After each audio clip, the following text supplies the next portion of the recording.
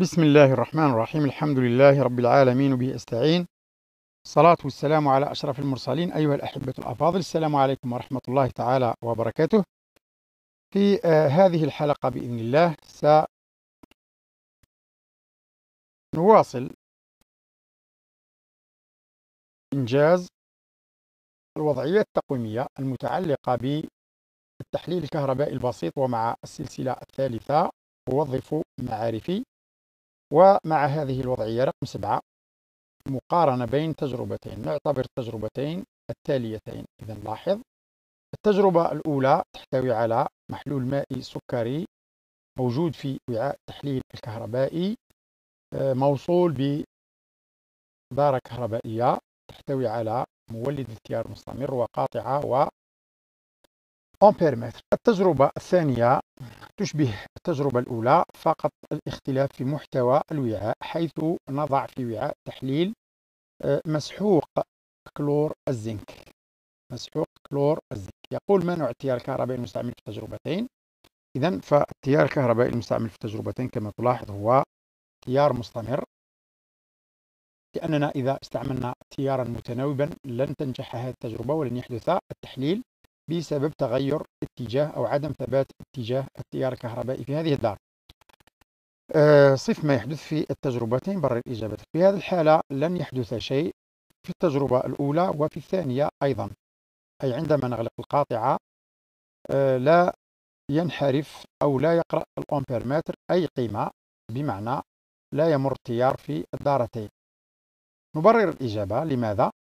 إذا لا يمر التيار بسبب آه، بسيط هو أن المحلول التجربة الأولى التجربة الأولى التي تحتوي على المحلول السكري فهو محلول جزيئي والمحلول الجزيئي كما رأينا وكما درسنا هو غير ناقل للكهرباء آه، بماذا نفسر ذلك؟ لأنه لا يحتوي على حاملات الشحن وهي الشوارد فهو مكون من جزيئات تسبح في المحلول الجزيئات لا تتأثر بالمولد ولا يؤثر فيها وبالتالي لا تنقل التيار الكهربائي. أما التجربة الثانية كذلك لا يمر التيار الكهربائي رغم وجود حاملات الشحن لأننا استعملنا آه، كلور زنك ولكن استعملناه بحالة صلبة. فهنا شوارد كلور الزنك شوارد الكلور وشوارد الزنك مترابطة مع بعضها البعض وليس لها الوسط الذي تنتقل فيه يعني الذي يحملها وتسبح فيه غير موجود وهو الماء. إذا فبالتالي هي مقيدة وبالتالي لا يمر التيار في هذه الحالة. يقول نضيف الماء المقطر إلى الوعاء في التجربة. اثنين انظر يعني هو الآن يريد أن يحول المسحوق إلى محلول.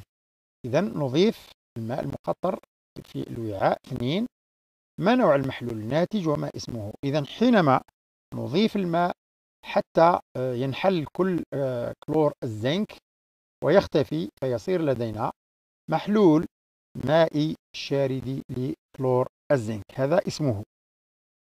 صف ما يحدث في هذه الحالة مدعما وصفك بمعادلات كيميائية. إذا عندما يصير لدينا محلول ونغلق القاطعة ماذا يحدث؟ عندما أضفنا الماء وحصلنا على محلول كلور الزنك الشاردي فعندما نغلق القاطعة قلنا الذي نلاحظه هنا هو انحراف مؤشر الأمبيرمتر. إذا كان ذو مؤشر. أما إذا كان رقميا فنلاحظ أنه سيقرأ لنا قيمة تدل على شدة التيار التي تمر في هذه الدارة الكهربائية. إذن هذا الذي نلاحظه على مستوى الدارة الكهربائية وعلى مستوى الجهاز. الآن على مستوى الوعاء ماذا نلاحظ؟ على مستوى وعاء التحليل نلاحظ تصاعد غاز عندما نختبره ونكشف عنه نجده غاز الكلور ويكون بجوار المصعد آه كيف تشكل غاز الكلور أو ما سره من أين أتى؟ التفسير المجهري يعبر عن ذلك والنمذجة بمعادلة نصفية هي التي تدل إذا شوارد الكلور الثنائية التي كانت منحلة في المحلول يجذبها المحبط المصعد معذرة ما سالبة. يجذبها المصعد فيأخذ منها الإلكترونين يعني كل شاردة يأخذ منها إلكترون وبالتالي تتحول إلى ذرتين تتحد الذرتان ويأخذ هو الإلكترونين للدارة الكهربائية إذا المعادلة النصفية لما جرى عند المصعد هي 2 Cl ناقص تتحول إلى Cl 2 زائد 2 إلكترون. في نفس الوقت نلاحظ ترسب معدن الزنك عند المهبط. نلاحظ ترسب معدن الزنك عند المهبط. الذي يتشكل كذلك بدوره وفق المعادلة النصفية التالية. زاد آن 2 آه نعم. نحن نتكلم عن الزنك وليس عن المغنيسيوم نعم. إذا زاد آن 2 معدن الزنك نصحح هذه المعادلة لاحقا. معدن الزنك زاد آن 2 يستقبل إلكترونين متحولا إلى معدن الزنك. هذا بالنسبة للمعادلة آه، النصفية لما يحدث عند آه، المهبط وعند المصعد إذا ماذا حدث في هذه التجربة بالكامل؟ إذا حدث تحليل كهربائي بسيط لمحلول كلور زنك وذلك وفق المعادلة التالية.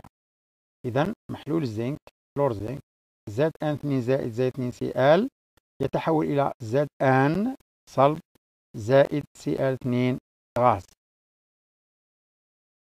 نمر إلى آه، الوضعية الثامنة التحليل الكهربائي لمحلول كلور الرصاص. بغرض تحضير غاز ثنائي الكلور قمنا بالتحليل الكهربائي لمحلول كلور الرصاص الذي صيغته الإحصائية PbCl 2 كما هو مبين في التجربة كيف تم تحضير محلول كلور الرصاص. إذا فيتم تحضير محلول كلور الرصاص بإحضار مسحوق كلور الرصاص وهو ملح معدني ويوضع في إناء ويضاف له الماء المقطر حتى ينحل فيه بالكامل. بعدها نضعه في وعاء تحليل الكهربائي الآن يقول ما هي الصيغة؟ اكتب الصيغة الشاردية لهذا المحلول. إذن الصيغة الشاردية لمحلول كلور الرصاص هي Pb 2 زائد زائد 2 Cl ناقص.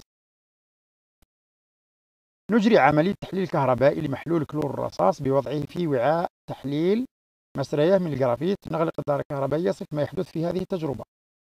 إذا يتم تحضير محلول كلور الرصاص بإحضار قلنا مسحوق الرصاص معدنيا صحة ويضاف حتى ويضاف له المقطع حتى ينحل فيه بالكامل. بعد ذلك عند غلق القاطعة ماذا نلاحظ؟ يشير الأمبيرمتر يعني قال صف ما يحدث في هذه التجربة. يشير الأمبيرمتر إلى شدة التيار الكهربائي المار في هذه الدارة و بالإضافة إلى ذلك على مستوى الوعاء. فعينيا عند المهبط نلاحظ ترسب معدن الرصاص و آه، عند المهبط نعم وعند المصعد يتصاعد غاز ثنائي الكلور إذا قلنا عند المهبط يترسب معدن الرصاص عند المصعد يتصاعد غاز ثنائي الكلور التعبير عن ذلك بالمعادلة النصفية معادلة المهبط آه، هنا الرصاص كذلك وليس وليس المغنيسيوم الرصاص وليس المغنيسيوم صح.